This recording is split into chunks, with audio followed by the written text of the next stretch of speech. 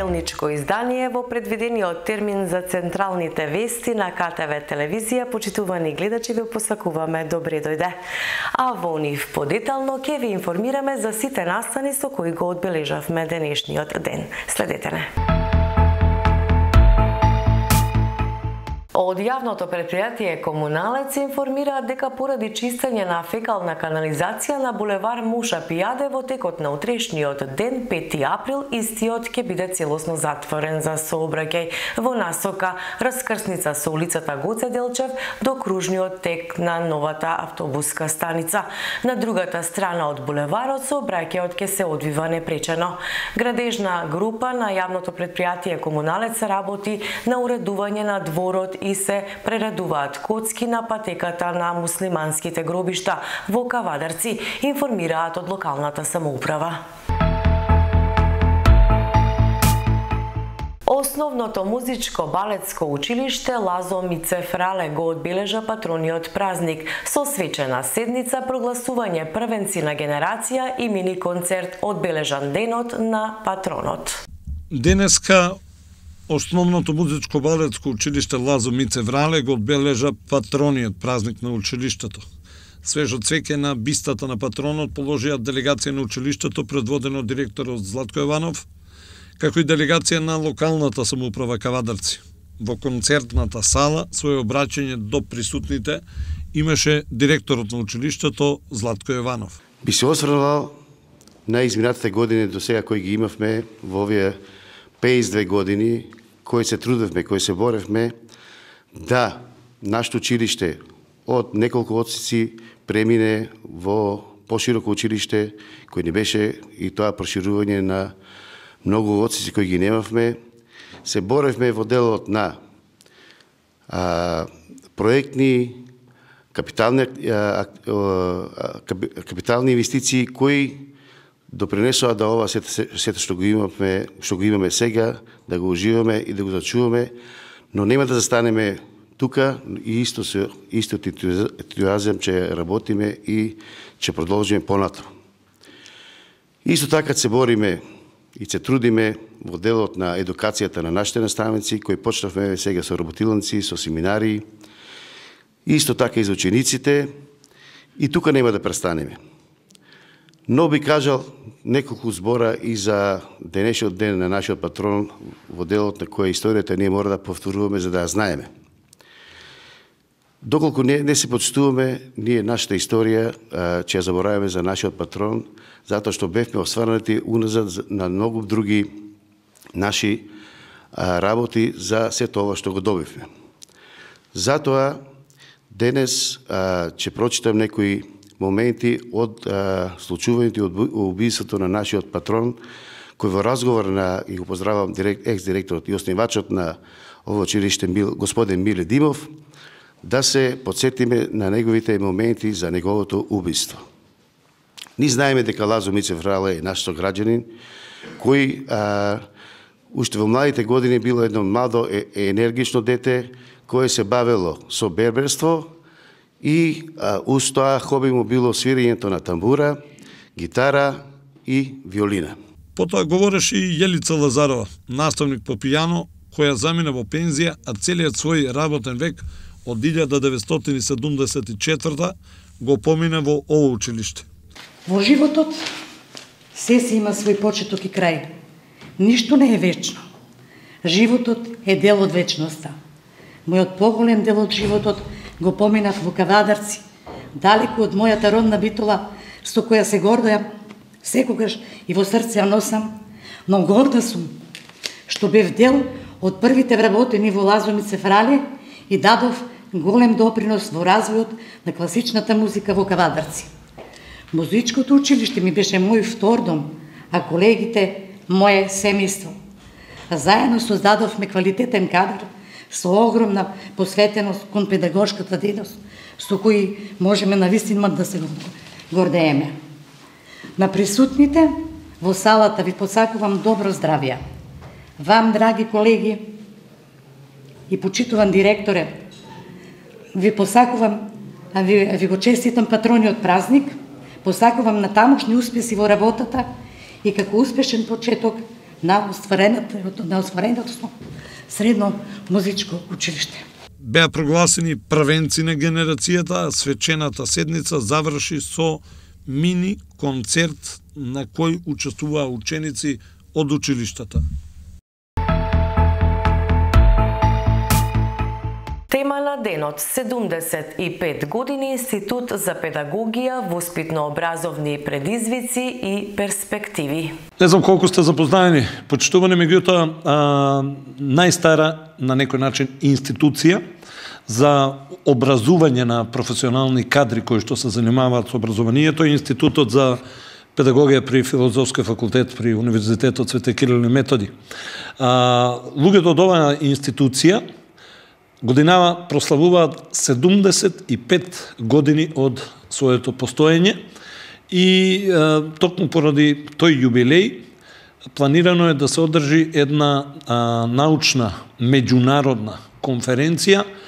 Меѓутоа, ајде да не говорам и да не откривам јас многу, ке се тоа ќе ни го каже малце и повеќе во детали раководителот на Институтот за педагогија, професор доктор Елизабета Томевска Илиевска, ако јас нешто сгрешив, еве професорката ќе ме исправи.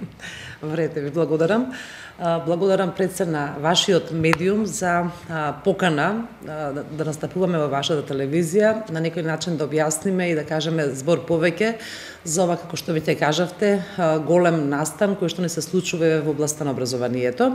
Имено јас доаѓам од филозофскиот факултет во Скопје, кој што веќе го наврши првиот век од своето постоење, најстар факултет во државата во рамките на Универзитетот Свети Кирил и Методи во Скопје. На филозофскиот факултет, како што веќе знае јавноста, функционираат 12 институти. Меѓутоа, Институтот за педагогија е еден од трите најстари институти и во знак на обележувањето на овој би кажала значаен и голем јубилеј, 75 години од своето постоење, организираме низа на активности, меѓу кои што централна активност, централен настан е токму овој што го споменавте, а тоа е меѓународната научна конференција со наслов 75 години Институт за педагогија, воспитно образовни предизвици и перспективи.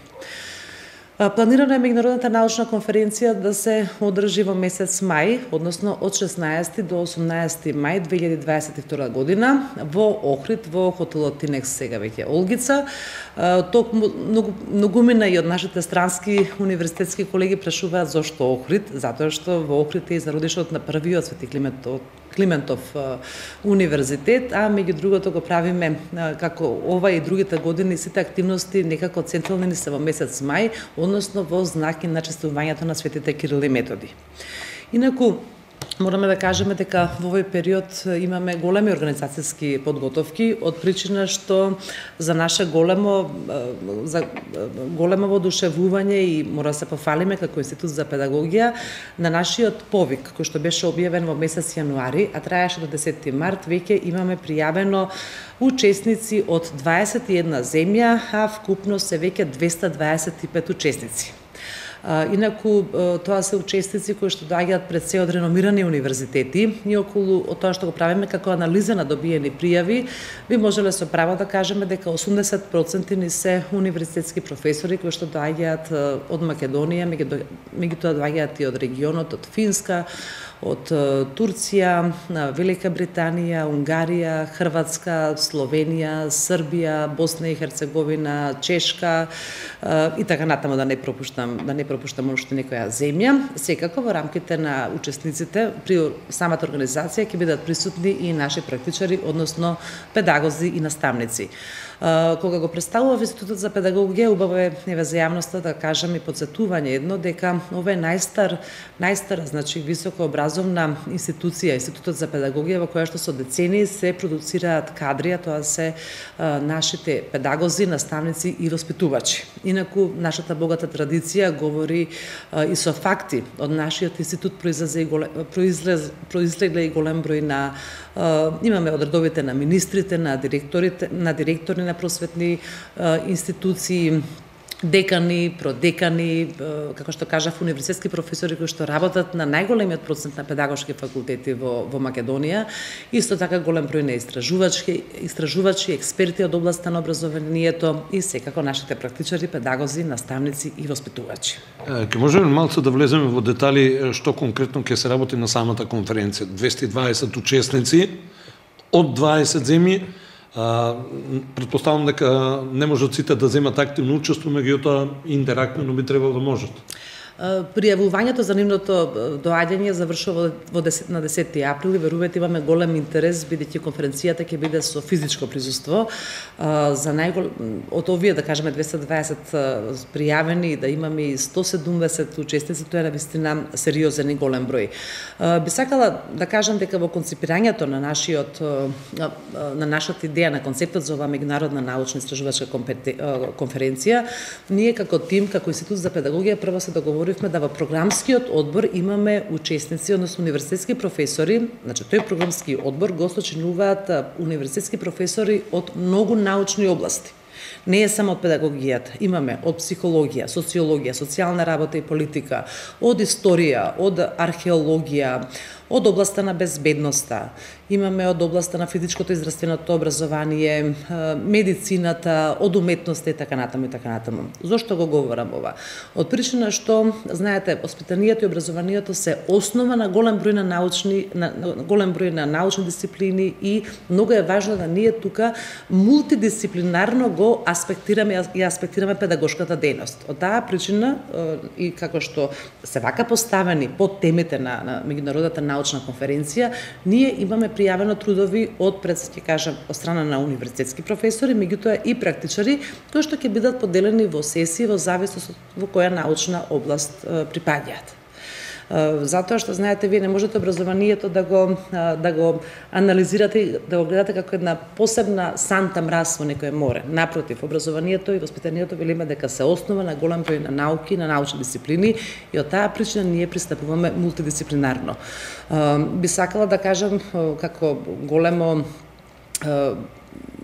големо признание тоа што е покровител на нашата конференција е председателот на државата, професор доктор Стево Пендаровски. Исто така, обраќање ќе има и нашиот ректор, ректорот на Универзитетот Свети Кирил и Методи, професор, професор доктор Николај Анкуловски. Овие денови ќе имаме и средба и со министерот за образование и наука. Од, веќе не е потврдено и неговото присуство, тоа е нашето ресорно министерство. Секако поздравен говор ќе има и нашиот почитуван декан, професор доктор Радко Дуев. Исто така во првиот ден, освен овие главни нели, говорители, се очекува како пленарни предавачи да се да имаат предавања и професори од универзитет од Финска, од Турција и од Хрватска, старава збор за реномирани реномирани професори кои што ќе говорат од своите научни области. И сега да не се прашуваат гледачите, да објасниме која е доперната точка, односно онаа заедничка точка на Институтот за педагогија, педагогија да. и кавадарци. Имаме, ако со математичка терминологија се изразиме, и ако го имаме оној Венов диаграм, диаграм во пресекот во надподмножество С, тоа математичарите многу повеќе го, го знаат, иако јас не сакам многу математика, всушност имаме многу заеднички допирни точки помеѓу високото образование и помеѓу општина Кавадарци. Прво дозволете да ви објаснам дека ние се наоѓаме во целиот овој период во голем предизвик да организирате на ваква меѓународна научна конференција, не би кажала потешкоти или проблем. Прво што повикот го упативме во ек на пандемијата COVID-19, кога ние самите не бевме сигурни и малку и стрепевме и скептични дали воопшто ќе не се при, ќе не пријават учесници во услови на пандемија, но еве резултатот што говори. Потоа во услови кога ова го правите на економска криза, не само во национални, туку веќе и во на светско ниво и дополнително за жал и ова воена криза која што индиректно реперкусиите ги чувствува еби нашиот систем и нашата држава.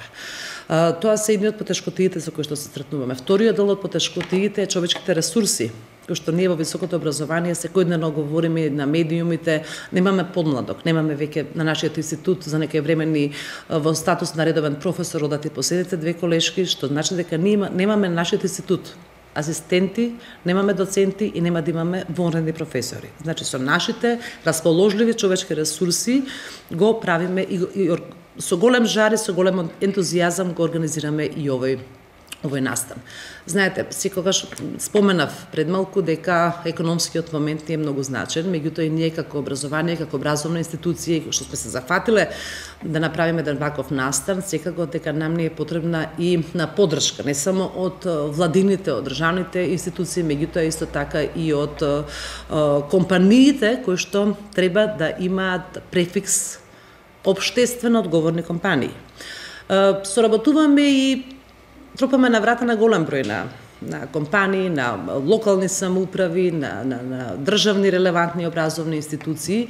И знаете, сите сме многу гласноговорници кога ќе треба да се критикува или кога ќе треба да се полемизираат некои теми кои што не се актуелни од областа на воспитанието, образованието, согласно себе со последните реформи, меѓутоа е деценија ако се вратиме на назад, меѓутоа верувате мал број на, на локални самоуправи, на општини и на компании имаат висок сензибилитет да го препознаат квалитетот и професионалноста и тежината на ова што се прави и да дадат поддршка.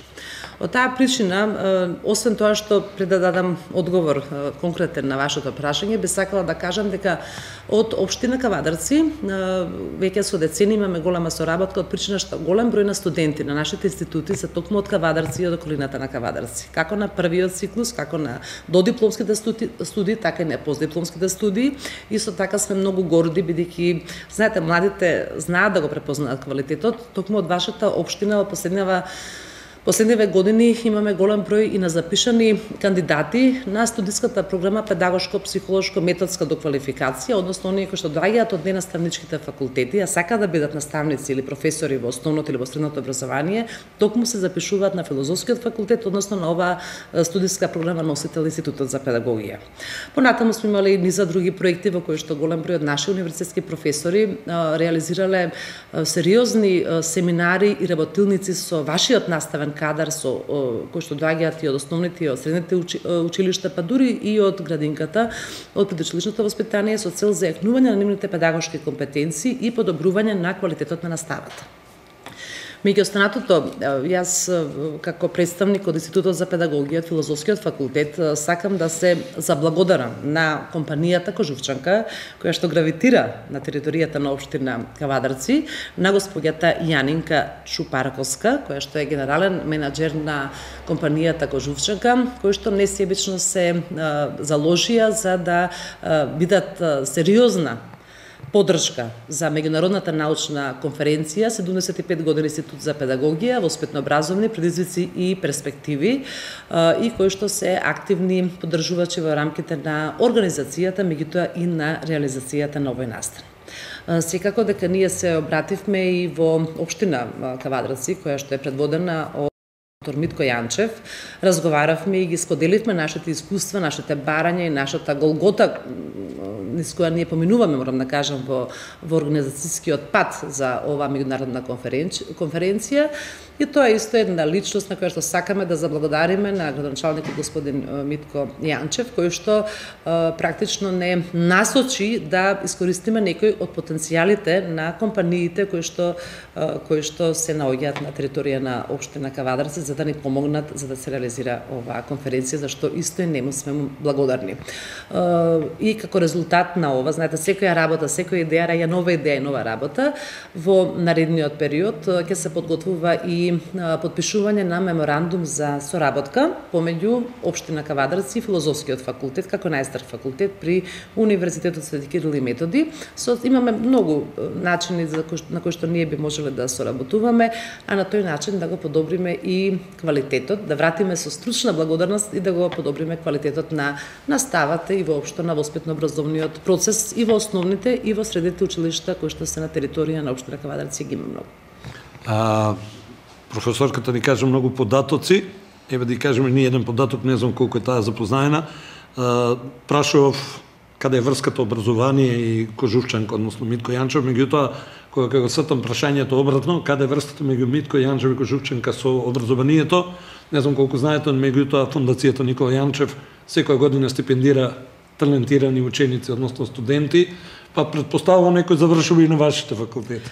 Да, имаме ние точно, тоа е исто аргумент плюс, тоа е исто ова алтруистичка алтруистична карактеристика на на на, на една личност, да е тим на луѓе кои што се нели се несебично се вдаваат во во работата и функционирањето на оваа да кажеме на кумана една благородна професија и што што има фондацијата.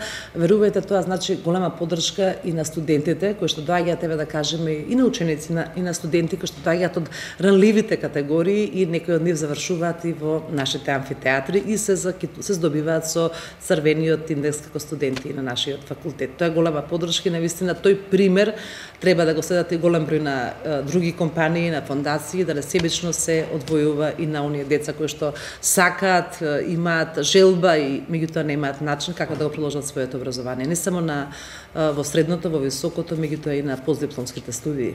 Професорке, јас само да ви се заблагодарам, а, да ви посекам успешна конференција, меѓутоа се надам ќе се видиме порано бидејќи најавивте нели подпишување на меморандум за соработка помеѓу Институтот за педагогија и локалната да. самоуправа Кадарци. И да не откриваме, имаме уште доста идеи кои што веќе се ги ставаме на хартија за моделите на соработка помеѓу општина Кавадарци и високото образование. Во тек е исплатата на правата од социјална и детска заштита за месец март 2022 година. Исплатата ќе се спроведе во две групи во сите отворени филијали и експозитури на банките, согласно со утврдениот распоред по азбучен ред. Корисниците на парични права кои што поседуваат дебитни картички ќе можат да подигнат готовина на банкоматите на банките, да ги користат средствата за безготовинско плаќање во продажните мрежи или преку преку електронско и мобилно банкарство од денеска. Бензините Евро Супер БС95 и Евро Супер БС98 од ноќеска на полнок поевтинуваат за 2,5 денари за литар, Евро дизелот за 1,5 денари, а за денар екстра лесното масло за домаќинство, одлучи денеска регулаторната комисија за енергетика и водни услуги. Антикризните мерки што ги превзема владата ги намалува трошоците и обезбедува повеќе пари кај граѓаните, рекоа на денешната пресконференција од СДСМ. Владата и институциите предводени од СДСМ успешно се справуваат со последиците од светската економска криза, најголема во последните неколку децени.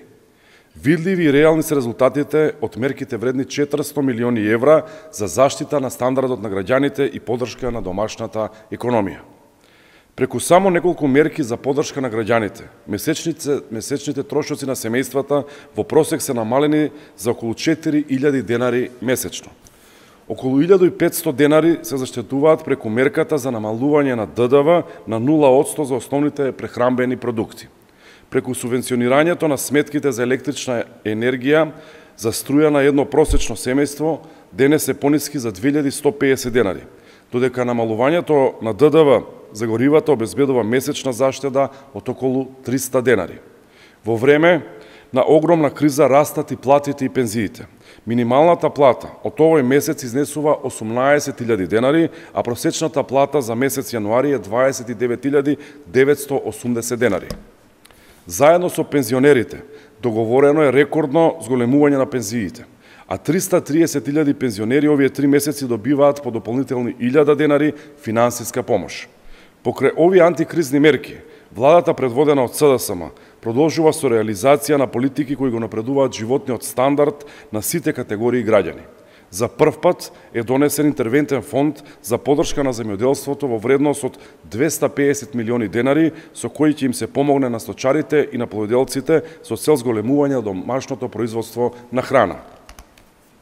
Остануваме посветени и на намалување на стапката на невработеност – Оперативниот план за активни мерки и програми за вработување, за кои се предвидени околу 30 милиони евра, ќе опфати околу 15.000 невработени лица, со што ќе се влијае на дополнително намалување на стапката на невработеност, која засега изнесува 15,7%. Почитувани, ова се само дел од мерките што СДСМ ги превзема за заштита на економскиот стандард на граѓаните и за раст на домашната економија. Во време на светска економска криза продолжуваме со политики што значат вистинска грижа за сите категории на граѓани. Владата за 11 милиони денари набавува води, сокови, чаеви и колонијални производи, обвинија денеска од ВМРО ДПМНЕ. Нова влада предводена од СДСМ воопшто не им доаѓа умот во глава. Замислете, пред само непол месец беа главна тема за непродуктивни трошење и луксузирање, а сега повторно гледаме дека во ек на сериозна економска криза, која што граѓаните сепак највеќе чувствуваат на своја кожа, трошат повторно милиони денари на непродуктивни работи. Службата за општи заеднички работи, на пример, на 23 март склучиле договор за набавка на води, овошни сокови и чаеви во вредност од дури 7 милиони денари. Потоа, на 29 март склучиле договор за набавка на колонијално прехрамбени производи и пијалоци во вредност од 3,8 милиони денари. За пијалоци и колонијални производи даваат 11 милиони денари во време на криза, а велат дека штеделе. Не, не штедат ништо, напротив, проложуваат со своето луксузирање. Граѓаните живеат во сериозна инфлација, поскап е секој можен продукт и производ во маркетите и тоа го чувствуваат на собствена кожа. Горивата, цените на горивата се превисоки за граѓаните, а платите и пензиите и понатаму не можат да ги издржат сите овие потреби на граѓаните. Она што е најлошо, најжалосно и нај, најразочарувачки е што оваа влада буквално ништо не презема за да им помогне на граѓаните да ја пребродат оваа криза. Очигледно е ова влада може да се откаже од буквално се. Може да се откаже од било кој национален интерес или било што друго, но не може да се откаже од собствениот луксус во владата и не може да се откаже од непродуктивните трошоци. Пред само некое време, не пол месец, обелоденивме дека дури 2 милиони евра непродуктивни трошоци биле потрошени за луксузирање на владава и еве ги сега не прекинуваат и продолжуваат со истите тие непродуктивни трошоци. Над 150.000 евра на пијалоци колонијални производи. Предходно видовме дека иако знаеле дека ќе има криза, трошеле на мебел, перење автомобили, луксузни храни, цвеќиња, кафиња, и тоа преголем број на кафиња, хотелски услуги и се останато. Сега гледаме дека немаат намера прекинат со било какви набавки за непродуктивните трошења. Наместо капитални проекти, луксус и непродуктивни трошоци. Толку е тоа што треба се знае за оваа влада предводена од СДС. На денот на основањето на НАТО го потврдуваме нашето единство и солидарност и гордо стоиме рамо до рамо со нашите сојузници, рече во своето обраќање премиерот Димитар Ковачевски. Република Северна Македонија го слави овој ден заедно со своите сојузници со посебна гордост и со полно право како 30-та земја членка на Алијансата. На 27 март 2020 година, оригиналниот документ на ратификација од пристапниот протокол за членство на Северна Македонија во НАТО беше предаден во Стейт Департментот на, Америка, со што нашата земја стана земја членка на Алијансата. Од тогаш ние сме рамноправен дел од најмощниот воен сојуз во светот, изграден и заснован на највисоките цивилизацијски демократски вредности. Нашата земја е фактор за стабилност и безбедност во регионот, во која граѓаните имаат сигурна иднина. НАТО како воен сојуз е посветен на унапредување на заедничкиот систем за колективна безбедност. Токму затоа ја оценивме руската воена агресија во Украина како неиспровоцирана и неоправдана, но и како сериозно кршење на меѓународното право и брутално загрозување на суверенитетот и територијалниот интегритет на Украина. Повикавме Русија веднаш да ги прекине војните действија и да ги повлече сите воени трупи и капацитети од Украина. Ја поздравивме храбрата одбрана на граѓаните на Украина, кои со голема храброст ја штитат својата слобода и суверенитет и нивното право слободно да ја избираат својата надворешно политичка ориентација и безбедносни аранжмани. Сојузниците како никогаш досега се единствени во одговорот на војната агресија на Русија врз Украина. Како НАТО направивме важни чекори за зајакнување на превенцијата и одбранбените капацитети на источното крило на Алијансата. Во овој контекст, Северна Македонија е подготвена да го преземе нашиот удел во овие напори и ние ја поддржуваме потребната долгорочна адаптација во таа насока. Северна Македонија целосно е усогласи и својата надворешна политика со политиките на земјите членки на НАТО и со политиките на Европската Унија и ги донесовме сите одлуки заедно со сојузниците. Воедно сојузниците се единствени и во реафирмацијата на повиците за санкции врз Русија. Сите земји членки на НАТО се залагаат за итно стопирање на војната агресија, а преземањето активности за економска изолација на Русија ќе овозможи деескалација на воените активности. Заедно со нашите сојузници во НАТО, внимателно ги следиме и се спротивставуваме заеднички на хибридните закани, кои имаат за цел да ги подкопаат угледот и довербата во НАТО и Европската Унија во регионот на Западен Балкан. Ги следиме и се спротивставуваме и на операциите кои целат да предизвикаат безбедносна криза која ќе влијае на стабилноста и просперитетот и да создадат дилема околу стратешката улога на НАТО и Европската Унија во регионот. Процесот на интеграција на Република Северна Македонија во НАТО алијансата беше долг, но сега во време на воена криза од вакви размери согледуваме колку е значено да се биде земја чија што безбедност се гарантира од страна на најголемиот безбедносен и одбранен сојуз во светот.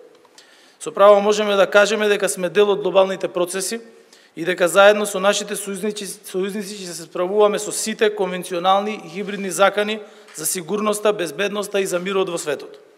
Во услови кога современиот свет се соочува со сериозна воена, хуманитарна, економска и енергетска криза, необходни се заеднички мерки за соодветен и ефикасен одговор.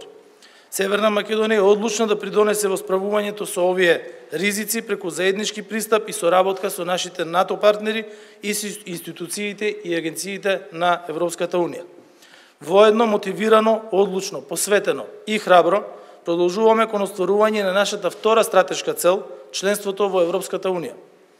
Ја имаме целосната поддршка на Соединетите Американски држави и на нашите европски пријатели – и високо ги цениме пораките за забрзување на отворањето на пристапните преговори меѓу Европската Унија и Северна Македонија. Евроинтегративните процеси треба да започнат без ден одлагање.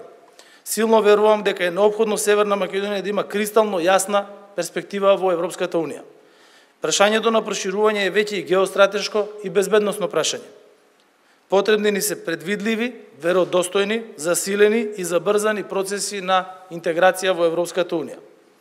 Ние сме посветени на, на визијата на Северна Македонија како земја на мир, стабилност и унапредена регионална и европска соработка за економски бенефит и просперитет на сите граѓани. Затоа денеска, на денот на НАТО, ги потврдуваме нашето единство, сплотеност и солидарност и гордо стоиме рамо до рамо со нашите сојузници. Заедно градиме просперитетно, безбедно, мирно и слободно општество. Тоа се вредностите на земјите членки на НАТО, и на Европската Унија. Тоа се вредностите на граѓаните на Северна Македонија, затоа што ние сме НАТО. Нека ни е честит денот на НАТО.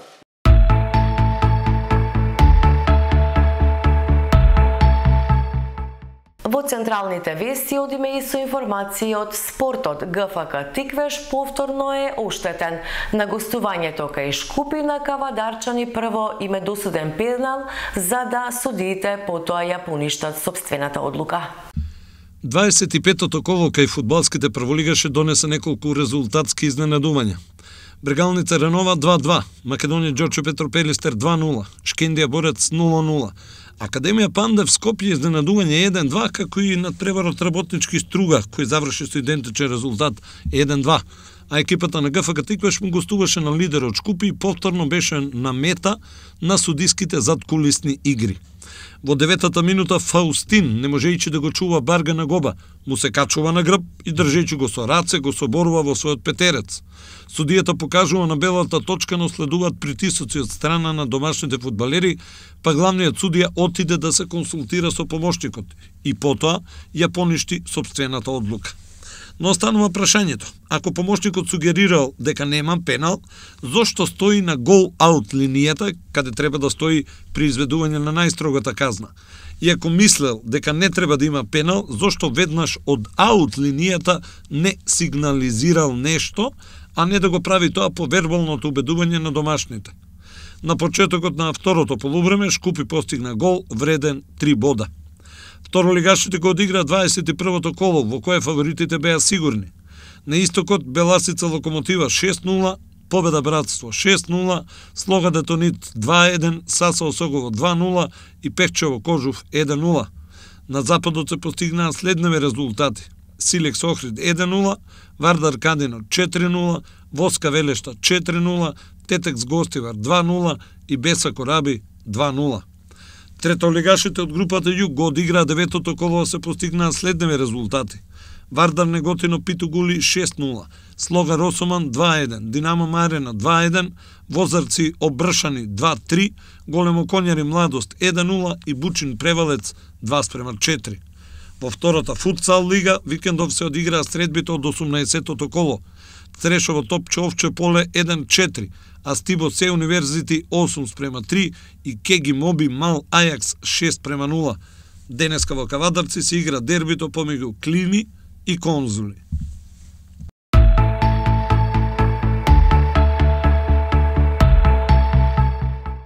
За градоначалникот Митко Јанчев, најавената оставка на тренерот на ГФК Тиквеш Владко Костов е неприфатлива. Како градоначалникот секогаш сум го поддржувал спортот во Кавадарци, особено ми представува чест кога ги следам над преварите на нашиот ГФК Тиквеш. Се гордеам со резултатите што ги постигна во последната година и секогаш сум со него и кога победувал и кога губел. И затоа по најавената оставка на тренерот Владко Костов, единствено што можам да кажам кажаме дека ниту јас, ниту управниот одбор, навивачите и љубителите на фудбалот не можеме да ја прифатиме затоа што сметаме дека тој не сноси никаква одговорност за фудбалските настани кои следеа предходно, за што се изјасни и судиската комисија на ФФМ и призна дека нашиот клуб многу пати досега бил оштетен. Затоа му даваме целосна подршка на тренерот Владко Костов, човек кој важи за најдобар и наискусен во Македонија да остане на чело на Тиквеш и да продолжи со неговата работа и секако да го подготвува тимот за следниот надпревар на домашен терен против ФК Струга, Трим и Лум. Се вели во писмената реакција на градоначалникот Јанчев.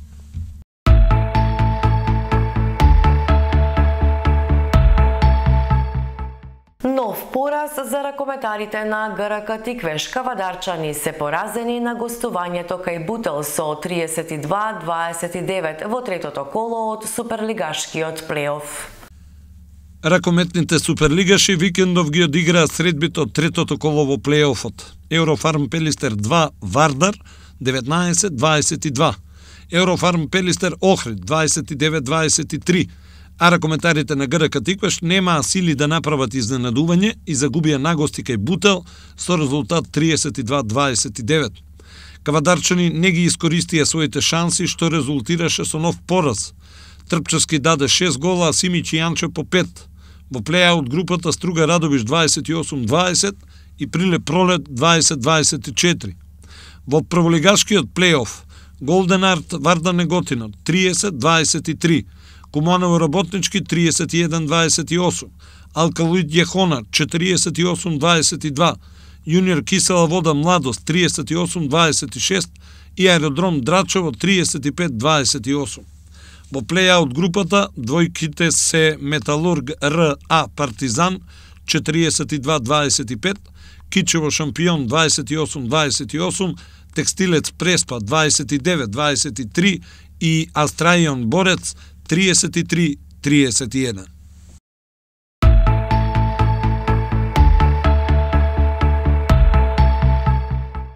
Евроникел си го завери местото во Суперлигата. Кавадарчани со перфектни последни 10 минути го совладаа работнички нагости со 68-87. Предпоследното 21 коло од регуларниот дел од кошаркарското првенство ги разреши сите дилеми. Пелистер, Мазата, ФМП, Евроника, Гостивар и ТФТ ки играат во Суперлигата и ке се борат за шампионската титула.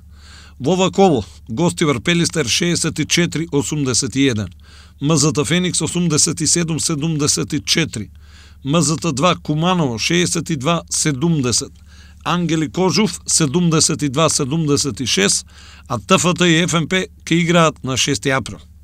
Евроникел си го завери местото во плейофот откако славеше нагости ке работнички со резултат 68-87. Кавадарчани одиграа три четвртини во кои делуваа некако незаинтересирано, но колку толку беа рамноправни и на крај одиграа безпрекорни последни 10 минути во кои го скршија противникот.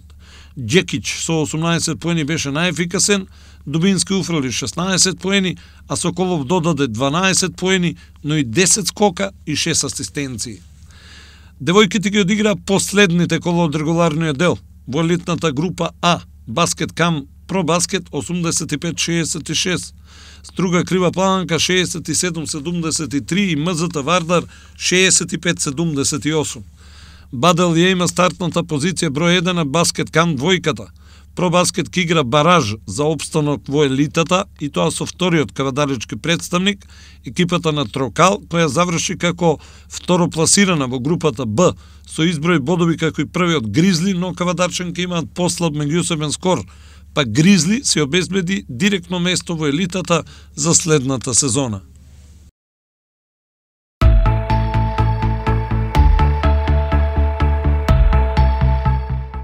Жетва од медали за каратистите од Сансај, Метал Апостолов и Енерджи Ос. Сансај освои 12 злата, 5 сребра и 9 бронзи, а Енерджи Ос 2 злата, 4 сребра и 1 бронза. Данка Стојкова е најдобра во кати. Во саботата на 2 април во спортската сала на основното училиште Круме Кепески во Скопје се одржа меѓународен карате надпревар Фунакоши Гичин Опен, на кој учествува зедоа 540 надпреварувачи од Македонија, Србија, Албанија, Косово, Црна Гора и Босна и Херцеговина. Карате клубот Сансај Метал Апостолов од Кавадарци со 12 златни медали, 5 сребрени и 9 бронзени беше прогласен за најуспешен клуб во Кати и најуспешен клуб во генералниот пласман во Кати борби. Данка Стојкова беше прогласена за најдобра надпреварувачка во Кати. Златни медали освоја Сансај Ката тимовите и тоа женски за родени 2009-2010 во состав Ѓорѓиева Филипова Јанчев, женски кадети и јуниори во состав Стојкова Ристовска Филипова, машки родени 2009-2010 во состав Булуков Јанчев Огњановиќ и женски сениорки во состав Стојкова Богева Ристовска. Покрај двете екипни злата, Данка Стојкова освои две поединечни злата во кати за кадети и за јуниорки. Викторија Ѓорѓиева освои две злата за женски родени 2011-2012, Марија Филипова освои злато за женски родени 2009, Крста Тодоров освои злато за машки 2012, а Филип Јанчев освои две злата во кати за машки 2010 и тоа ниво 3 и апсолутно ниво. Сребрени медали освоја ката тимовите Санса и тоа женските родени 2013-2014 во состав Стојанова, Атанасова, Божова, Трајановска. Машките кадети јуниори во состав Костов, Стојкова, Прстенков. Машки родени 2013-2014 во состав Јаневски, Тодоров, Камчев, како и Марија Филипова, женски 2009 и Саша Гњановиќ машки 2010 Со бронзени медали мораше да се задоволат Ката Тимот Сансаи женски, родени 2011-2012 во состав Ѓорѓиева Стојанова Танасова, потоа Тамара Ристовска женски кадети, Јана Атанасова женски 2013 Ева Трајановска женски 2014 Зоран Булуков машки 2011 Никола Камчев машки 2013 Давид Јанески машки 2015 помлади Мартин Костов машки кадети, Мартин Прстенков машки кадети. Организатор нова надпреварување, карате клубот Фунакоши и врачина Ивана Аврамова, тренерот на карате клубот Сансај Метал Апостолов, посебна плакета за успешна долгогодишна соработка. Нова надпреварување учествуваат членовите на карате клубот Energy ОС од Кавадарци, предводени од инструктори професор Сашко Ристов, кои исто така постигна исклучителни резултати. Ката тимот за машки родени 2013 во состав Филип Кушев, Благој Ристов и Бранко Шарма освоја златен медал. Ката тимот женски родени 2013 во состав Сара Златановска, Даниела Бошева и Сирма Стојанова освоја бронзен медал. Максим Спасов освои златен медал во кати машки родени 2015 Благој Ристов освои сребро во кати за машки родени 2013 а Сирма Стојановска сребро во кати женски 2013 Во кумите борби Филип Костов за оние родени 2009 и до 42 килограми освои сребро, а сребро освои Петар Танчев и тоа во дисциплината родени 2008 година до 41 килограм.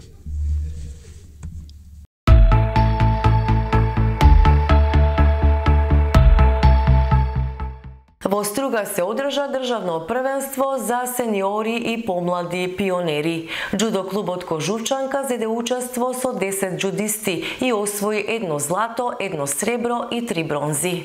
Вчера во спортската сала Нико Нестор во Струга се одржа државно првенство за сениори, помлади пионери и пионерки во джудо. На првенството кое помине во организација на Джудо Федерацијата како технички организатор беше Джудо клубот Дрим од Струга, настапија повеќе од 200 джудисти. Нова надпреварување учество зеде джудо клубот Кожученко од Кавадарци, тоа со 10 надпреварувачи, од кои 8 во машка и 2 во женска конкуренција. Кавадаречките джудисти вкупно освоја 5 медали, тоа еден ам, златен, еден сребрен и 3 бронзени. Златен медал освои Јован Димитров во категорија до 28 килограми, сребрен медал освои Марија Илиевска до 48 кг, а со бронзени медали се закитија Филип Поповски до 73, Дарко Трајков до 81 и Трајче Марков до 90 кг. Да напоменеме дека нашиот клуб настапи ослабен, бидејќи репрезентативката Благица Колева направи оперативен зафат на коленото и, и предстои период на рехабилитација.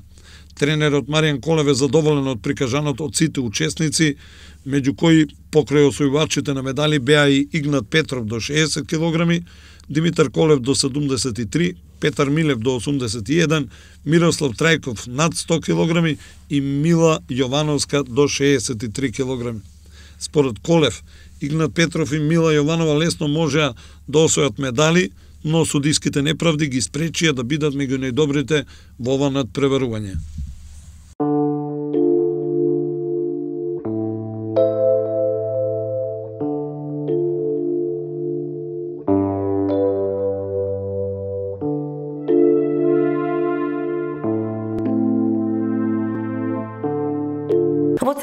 Вести одиме и со информации за тоа какво време не очекува. Променливо облачно, предпладне во јужните делови ќе има локални врнежи од дошт. Ке дува слаб до умерен ветер од јужен правец. Температура од 4 до 16 степени. Почитувани гледачи ги следевте централните вести на КТВ телевизија. Останете и понатаму со програмата која ја подготвивме за вас и имајте убави мигови.